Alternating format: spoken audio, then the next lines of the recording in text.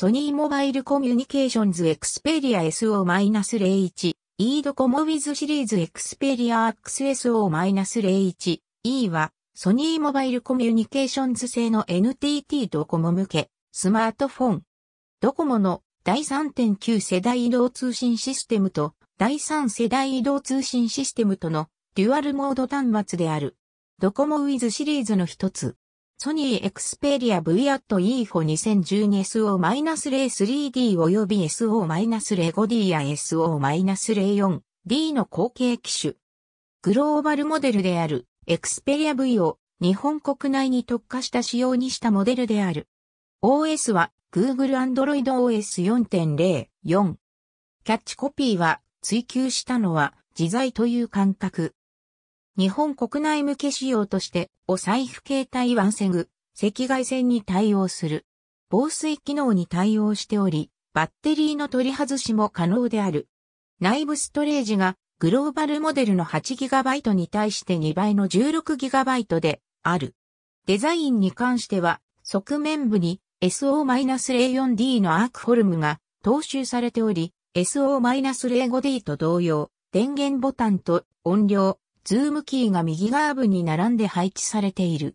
本機種からソニーエリクソン時代のシンボルマークがなくなっている。防水のため、イヤホンジャック及び USB ジャックにはカバーが付けられている。また、SO-05D に引き続きアンテナは内蔵されていない。ワンセグ視聴の際には、イヤホンジャックにワンセグアンテナケーブルを接続する必要がある。PlayStation Certified に対応し、 PlayStation Mobile 対応アプリを使用できる。本機種から Xperia の UI が刷新された。通知エリアに配置されたボタンが2段構成となり、フライトモードや画面の自動回転、テザリングなどをワンタッチで設定できるようになった。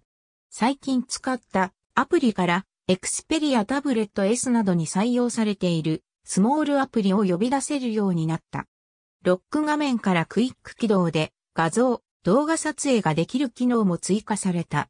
電池パックを外したところに2つスロットがあり、ミニ UIM カードが下段、 microSD が上段である。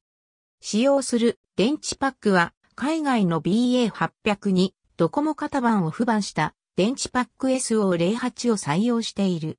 SO-04D の電池パック同様、ソニーブランドとなっている。なお、上部端子が BA750 とは逆で右側に配置されている。なお、NotTV、置くだけ充電には対応していない。au から同時期に発売されたソル21とは通信方式やデザイン、青色の設定色を除きほぼ同等の性能である。2013年6月11日に Android 4.1へのアップデートが開始された。アップデートに伴う変更点、機能の追加は以下の通り。ID 及び7個において決済サービスなどが使えない不具合が発生している。調査の結果、店舗に設置された特定の読み取り機と端末との相性によるものが原因としており、エラーになった場合別のかざし方を何度か試すことで正常に読み取れると、かざし方と合わせて案内している。また、この不具合に対するアップデートの提供もないとしている。ありがとうございます。